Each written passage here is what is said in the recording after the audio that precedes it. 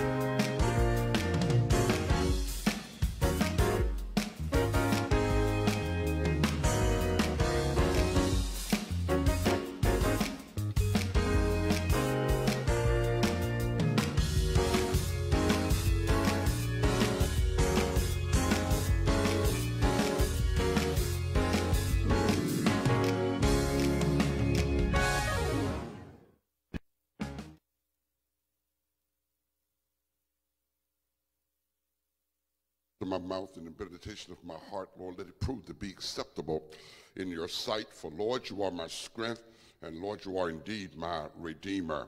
And this we ask in the name of Jesus the Christ, we pray. May we all say together, Amen. Amen. This is our Tuesday Words of Encouragement, man. This is coming at the end of our month, and uh, wow, it's been a tremendous month. And our theme has been, uh, you know what, biblical truths to deal with Christian misery. And we have taken the Tuesday to deal specifically with Satan. So this is our last um, our insert that we're going to deal with Satan on today. So we're going to be talking about satanic resistance. Satanic resistance. Amen. Paul tells us in 2 Corinthians chapter 2 and verse number 11, he says, Lest Satan should get an advantage of us, for we are not ignorant of his devices. Amen. Amen. And what Satan does, I mean, what, what he does, he uses what I call the two P's. He uses pain and pleasure. And he uses those two things real well uh, to make us blind, to make us stupid, and make us miserable. And so we need to know about Satan, amen? So what do you really know about him? We really know more what the Bible tells us about him. So we're going to walk through the Bible. We're going to give you a lot of scriptures today, but we're going to walk through the Bible and we're going to talk about Satan and then we're going to talk about spiritual warfare, and then we'll be done. Amen? So, what did the Bible tell us about Satan? Revelation chapter 12, uh, verses 9 through 10. Amen. And the Bible calls him a great dragon, was cast out, the old serpent. And then he calls him by name. He calls him the devil, and he calls him Satan. The devil, the Satan, the, devil, the Satan, amen, the slanderer, uh, the deceiver. That's why he's called a devil. And uh, Satan is the adversary. You know, that means he's our adversary, he's our enemy. He deceived the whole world, for he was cast out into the earth, and his angels were cast out with him. John 12, 31. We look at John chapter 12, verse number 31. So now the judgment of this world, now shall, he's called the prince of this world, is going to be cast out. And what do you mean by the world? He means by a system by which we operate apart from the Word of God. So anytime your life is not living according to the Word of God, Matthew 4 4, man should live by what every word, then what's what? That is the world, because that's the system by which you operate your life. And then in 2 Corinthians 4 4, amen, he, here he is again. He's called the God of this world, small g. Because what? he has blinded the minds of them which what believest not, uh, lest the light of the glorious what gospel of Christ, who is the image of God, should be what should what should strive unto them. So should shine unto them. So all of these things are part of what he's called. He's called the God of this world. He's called the, the prince of the world. He's called Satan. He's called the devil. He's the slanderer. He's the accuser, and that's exactly who he is. Now Peter warns us about him in 1 Peter 5 and 8 and he warns us about him. He said, Be sober. The word sober means to be what? Sensible. To be sensible as a believer. Be vigilant. That means be watchful. Be on guard. Be always sensitive because your adversary, there he is, the devil, he comes as a roaring lion, what? So walking about seeking whom he will what? Devour. Devour means to destroy. And what he's going to destroy? He's going to destroy what? He's going to destroy your, your resources with God. He's going to destroy your ministry. He's going to destroy your influence. He's going to destroy uh, your fellowship with the Lord. He's, he's out to destroy all of that. Amen. The sad thing about it is that many of us willfully follow him. Ephesians 2 2. Ephesians 2 and 2. He says, Where the time passed where you walked according to the course of this world. He's telling believers, and I'm wondering, you got to straighten up. Because now, in the time you willingly walk in the course of this world, according to the prince of the power of the air, the spirit now working in the children what? Of disobedience. So you got unbelievers are walking according to Satan, and then you got believers who are just disobeying the word of God, and they're walking in the course of Satan as well. Satan has a strategy that he comes that we need to be what? Not ignorant about, as Paul says. And I'm going to walk through this quickly with you, amen? His first strategy, and this is how you know this is the devil operating in me. Number one, lies. Lies. John 8 44. And John 8 44, and Jesus told him, You are your father, the devil, and the lust of your what? Of, of your father, that's what you do. And going to be your desire because he was a murderer from the beginning and he abode what? Not in the truth because there is no truth in him. When he speaketh, he speaketh what? A lie. And he's speaking of his own, for he is a liar, and the Bible says he's the father of it. So anytime that you lie, that's the devil operating in you. Amen. That's the devil. Anytime you want to see people, that's the devil operating in you. Number one is lie. Number two, he blinds us. He blinds us. Go back to 2 Corinthians 4 4. And 2 Corinthians 4 and verse number 4, what he does, he blinded the minds of them which believe not. Those who are not trusted in the word of God, the enemy blinds you to the truth. And so therefore, you're not blind. I know many of us, and I don't know about you, but I've been in a situation in my life where I was blinded, not trusting the word of God. And then all of a sudden the light come on. You say, how in the world did I let myself get into something like this? Or how in the world this happens to me? It's because when you don't stay close to the word of God, the enemy has a way of blinding you uh, to the truth of God. That is the devil. Amen. Number three, he masquerades. He masquerades. Amen. Second Corinthians 11, 13 to 15. 2 Corinthians 11. For he, such are false apostles. See, Satan, Satan doesn't attack the church. He just joins the church. He joins the church. He comes in, man. He don't come in and sit in the pew. He comes in and get active. He comes in as an apostle. He comes in as a deceitful worker. You know, this is the person, man, who are operating uh, in a position that God has not called them to. He comes in as deacons that should not be deacons, as ushers who should not be ushers, as choir members who should not be choir members. And they're able to change themselves to make people think they've been sent by Christ. 14, and verse 14. And what? And no marvel. Marvel means don't be surprised. For Satan himself is transformed into an angel of what? Light. He can make you think. And what do you mean by that? He's in the pulpit. He's preaching. And he's preaching, and folk like it. He can change himself into an angel of light that he can actually make wrong look right. In verse number 15, amen. Therefore, it is no great thing that if his ministers also be transformed as the ministers of righteousness, whose end shall be what? According to their works. And what's going to happen is, is that you're going to what? Be able to tell the tree by the fruit it bears. And so this is the thing that Satan does. He masquerades. Number four, he does miracles. He does the miraculous. And a lot of people are really, man, blown away by miraculous things. Let's go to 2 Thessalonians 2 and 9. In 2 Thessalonians 2 and 9, even him who's coming is after the working of Satan, for he comes with all power and signs and lying wonders. I mean, he can do things, man, that make you think that it's God. And uh, one of the biggest problems we have is that we have a tendency to think that everything that's supernatural is God. And the enemy is able to do that kind of thing.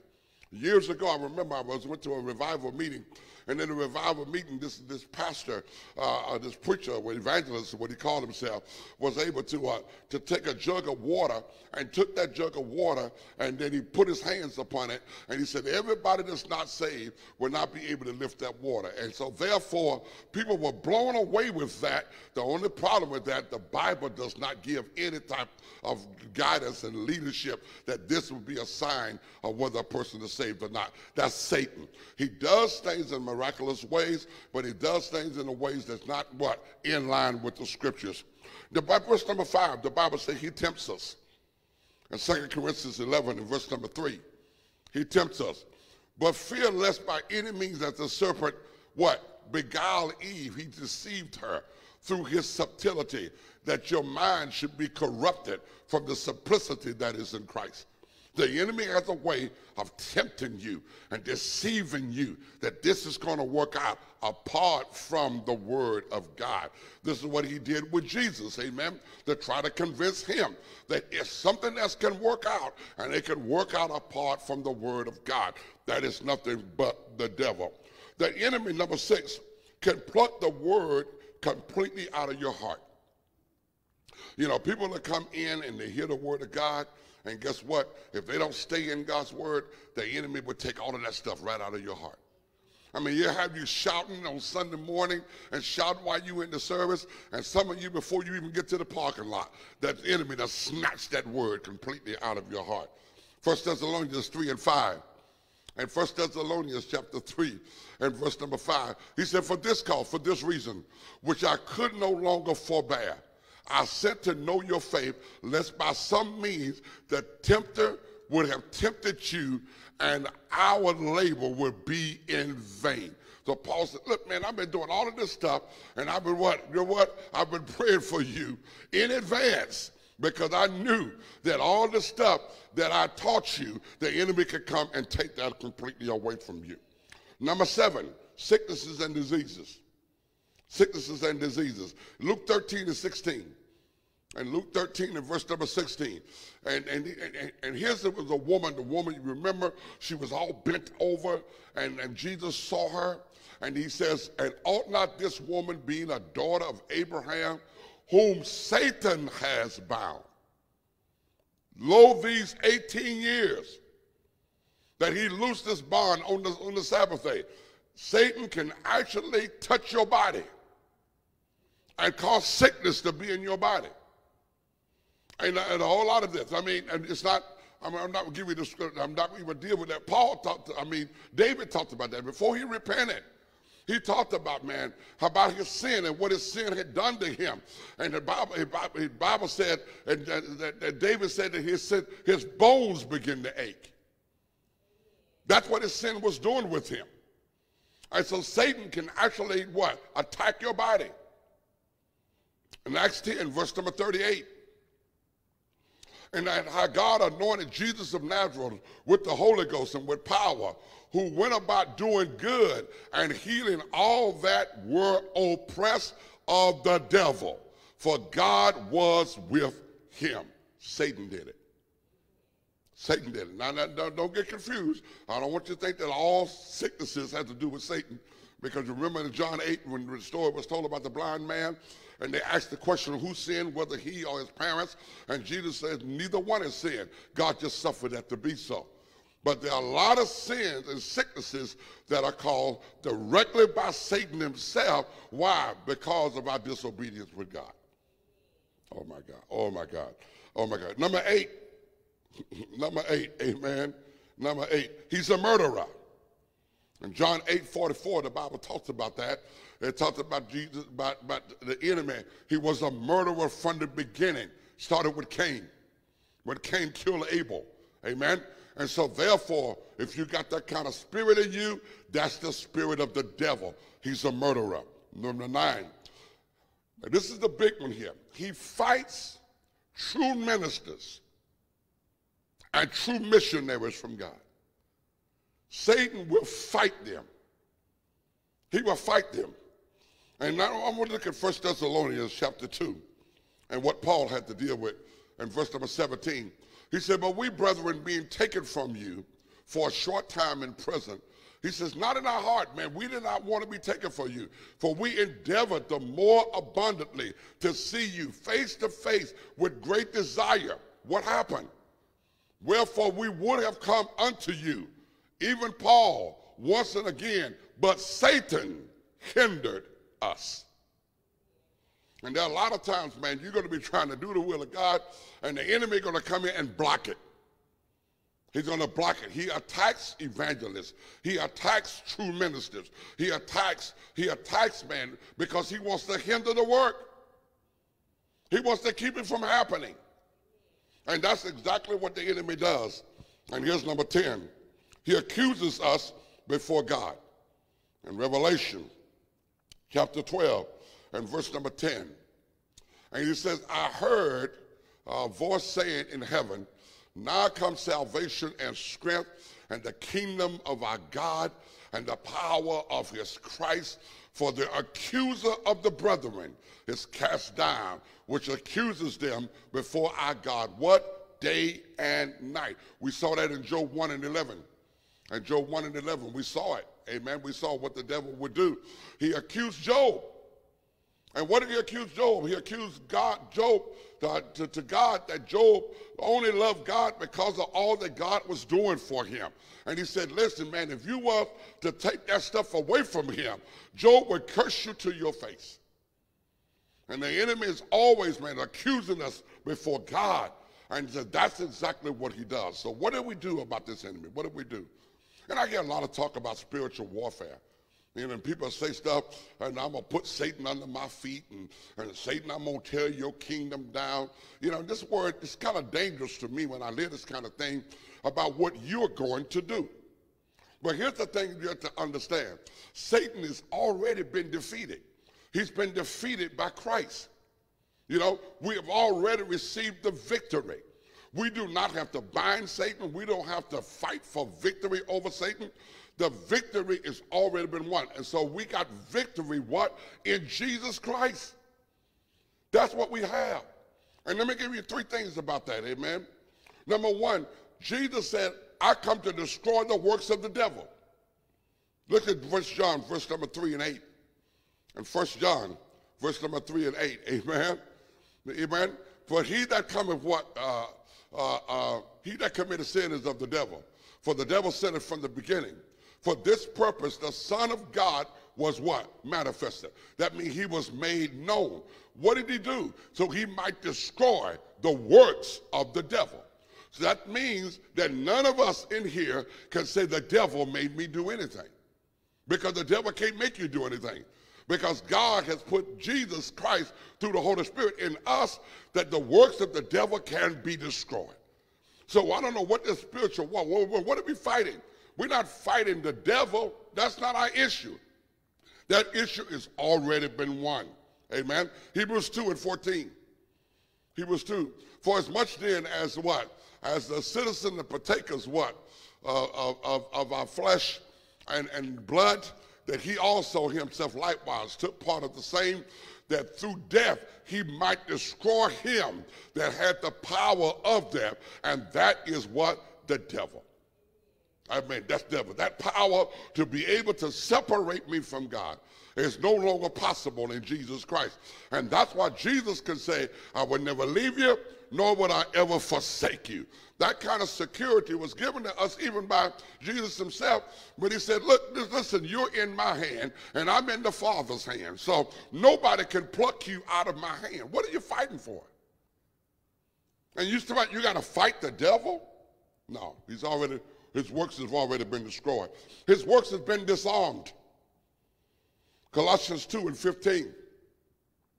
He said, having spoiled the principalities and the powers, he made a show of them openly, triumphing over them in it. Why? That happened at Calvary. That happened in Calvary, amen? And all the principalities and all the powers and all the things that we said that Satan had, Jesus Christ triumphed over them. For not only he died on, on the cross, but he to what? To get up on that Sunday morning. And so therefore the devil has been defeated.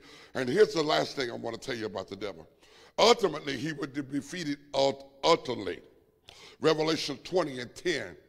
And Revelation 20 and 10, and the devil that deceived for what for them was cast into the lake of fire and brimstone. And when the beast what and the false prophet are, and we shall be what tormented what day and night forever and what ever. Amen. Does that sound like that we ought to be intimidated by the devil? No. It doesn't sound like that at all. And so, what is the spiritual warfare? The warfare you're fighting is with yourself. You know, you're not really fighting the devil, you're fighting with denying yourself. And that's what the Bible tells us to do. So let me give you four auras, and I'm going to leave you alone on how you can engage in the spiritual warfare. The first thing it is, is just resist. The Bible tells us to resist. 1 Peter 5 9. Remember, the devil is a roaring lion, but Peter said, Hey, whom you resist steadfastly. That means firm. Be firm in resisting. And how did you resist him? In the faith, by trusting the word of God knowing that the same affliction are accomplishing your brother that are in the world. So don't worry about all the stuff you go through. Stay trusting God, and then you can resist Satan. And the Bible talks about it again in James 4 and verse number 7. It says, If you submit yourselves therefore to God, you can resist the devil, and he will do what? Flee from you. Oh my God. Oh my God. Number one is resist. Number two is refuse refuse. Ephesians 4 and 27. It says, neither give place to the devil. Neither give place to the devil. That's why the Bible says, in all your ways acknowledge God. So what do you do? We talked about this Sunday. We talked about whenever you're in a situation in your life, then you go to God and say, God, how do you want me to handle that? So why? Because I want to make sure I don't give a place to the devil. If I don't trust you to make the judgments for me, then I'm going to trust my judgment, and my judgment is always going to be the devil. And so, therefore, I don't give place to the devil. I know you feel like cutting some people out sometimes, but you got to run to God when you feel that way and say, God, how do you want me to respond to this person? What's going to represent you when I respond to this person? Because if I don't do that, I'm going to give the place what? To the devil. You got to know what to refuse. You know? And here's number three you got to recommit. You got to make that commitment to stay with God no matter what happens in your life. Ephesians 6 and 11. In Ephesians chapter 6 and verse number 11, it says to put on the whole armor of God. The whole armor of God. In other words, protect yourself against Satan. Protect yourself. And you look at the armor, all the armor is designed to really be defensive. You're defending yourself against the attacks of the devil. And that's why he tells you to put on some stuff like, you know, the breastplate of righteousness. What is the breastplate of righteousness? Your breast area covers your heart and your most vital part of your body. So uh, the way you can keep the devil from being able to attack you in that area is stay in the word of God because the righteousness is of Christ and the righteousness is in the word of God. So that's why you're protecting your heart. You're protecting your heart, and you protect your heart that way. Amen. And then he says, "What? Put on the what? The the the, the, the belt of truth, the girdle of truth. What does a, a belt does? What it does really, it arranges everything. It's like a uh, in a woman's sense, it's a girdle. That's what they call it. And what a girdle does, it arranges stuff because stuff is all out where you don't want it to be. You put a girdle to put everything back in arrangement. And so that's what God is saying Put on the belt of truth so that God can arrange everything in your life. Then the marriage can be what God wants it to be. Then the life could be the way God wants it to be. Because without the girdle of truth, it's going to be all everywhere. Everything's going to be hanging out. Things going to be the way it ought to look. It's not going to look right. It's not going to represent God. So put on the girdle of truth. Amen. Put on the shield of faith. And what is the shield? You can fight the fiery darts of the wicked.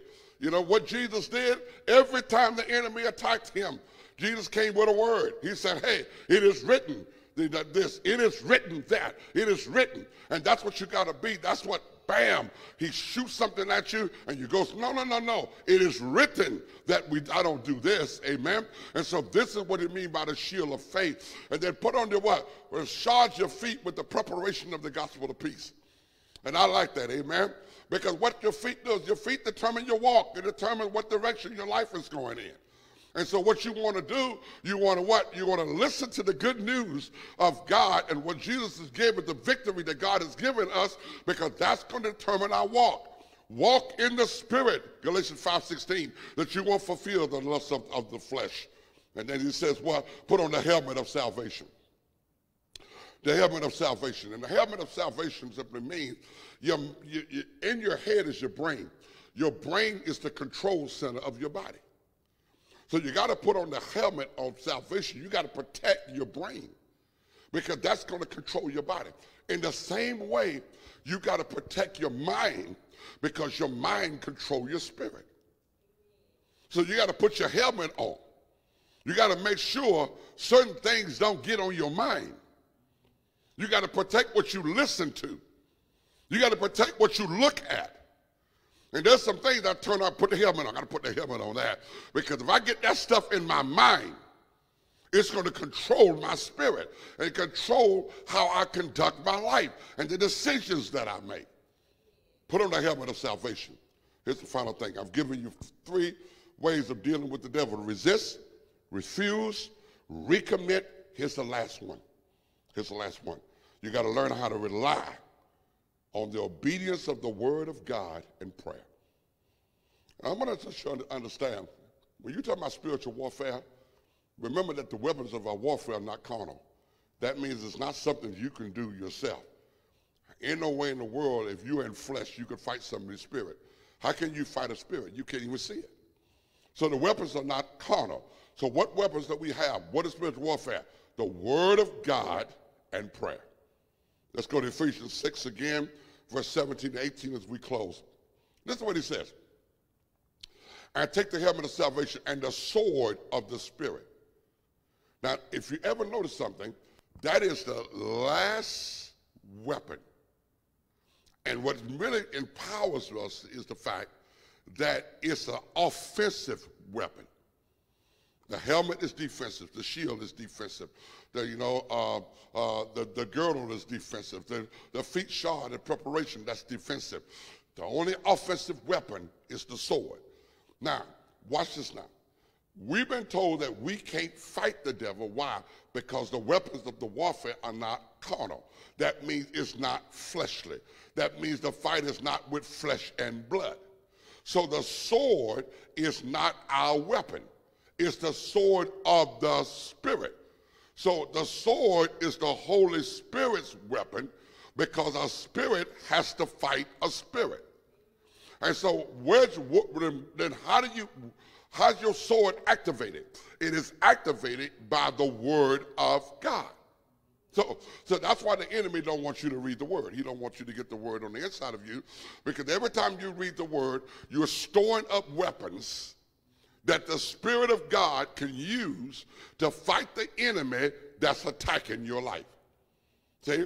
And it's like many people don't understand that when you read the Word of God, I read six chapters of Scripture this morning, and when you read the Word of God, how many of you ever read it and didn't remember what you read? Okay? You know, and the reason why you didn't remember what you read is because you didn't need it right then. But what you were doing was storing it up in your inventory. So when the enemy attacks you, the Spirit of God will bring back to remembrance that which you have put in your inventory, and that's how he fights your battle. That's why some of us are defeated. uh, just, uh, cast out. Some of us can take a licking and get right back up. It depends on the inventory that you what? That you have put in your mind, and that is the word of God. Amen. And then in verse number 18. In verse number 18. Amen. Now praying always with prayer and supplication. What? In the spirit. What does it mean by that? You pray, but you pray with an idea, idea that God can supply everything you need. But why you want to pray in the spirit? Why? Because the spirit will make intercession in our prayer. Because the Spirit knows that we don't pray like we ought to pray. So the Spirit can turn around as we are praying and really go to God and get from God what we really need. That's why a lot of times we get blessings we don't ask for. Amen. We get blessing. If anybody other than me ever got a blessing that you didn't even ask for that blessing. That God stepped in and gave it to you. Why? Because you were asking for one thing, but the Holy Ghost interceded and said, no, he don't need that. This is what he really needs. So thank God for the Holy Spirit. And so that's exactly what, he, what he's talking about. And so we what?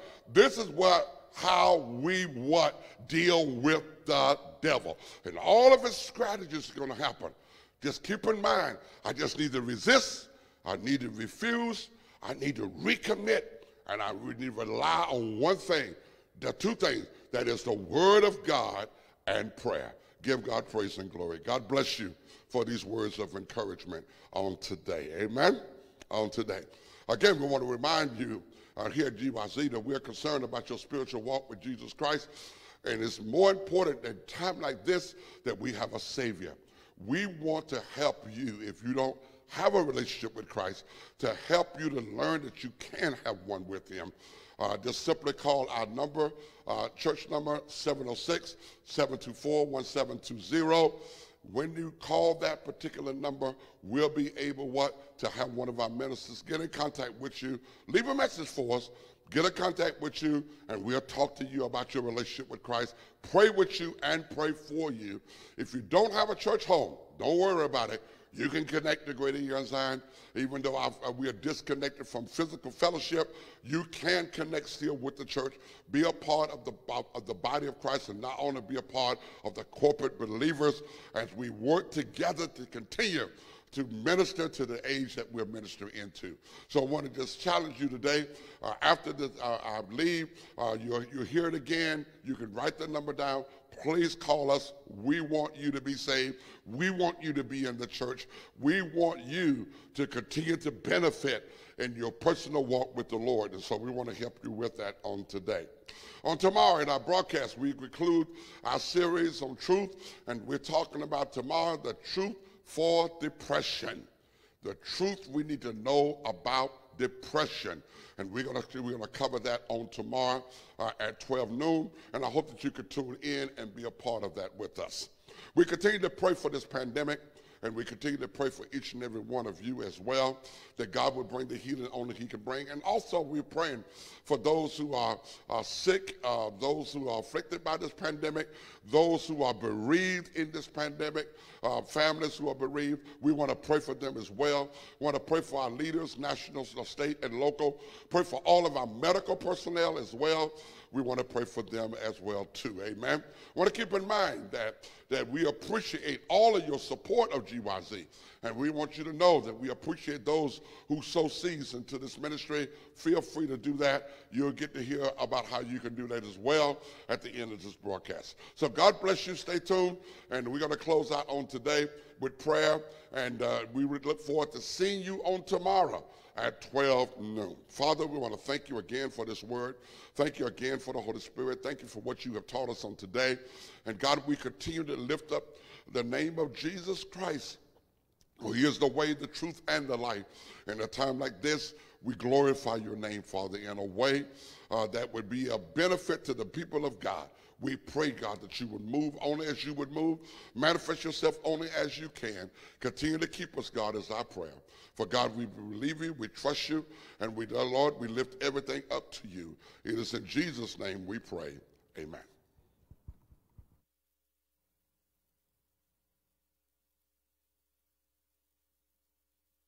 Thank you for tuning Thank in. you for tuning in today. A CD of today's message can be mailed to you for just $7. Please call the church office at 706 724 1720 and reference today's date or sermon title when placing your order. If you would like to become a member of our church or are in need of prayer, call the church office at 706 724 1720 or join our prayer call. The information is listed on the screen. GYZ is a Bible teaching church seeking, reaching, and teaching all to live for Christ. We invite you to tune in again for our regular broadcasts, Tuesdays at 10:30 a.m., Wednesdays at noon, and Sunday mornings at 10 a.m. You can also follow us on social media at GYZ Augusta. Please be sure to like our pages and even share them with a friend. If this program has been a blessing to you, please consider giving to our ministry. We have many ways to give, including online through the Give Plus app, our church website at greateryoungzion.org, or you can give easily via Cash App. Just type in GYZAUG. Don't miss another dynamic sermon series led by our own Pastor William B. Blount, starting next week The Keys to a Well Lived Life. Invite a friend to tune in and be blessed by this teaching. Until we meet again, we pray you have a blessed week. May the Lord continue to cover your families with his hedge of protection and grant you peace in the midst of this pandemic.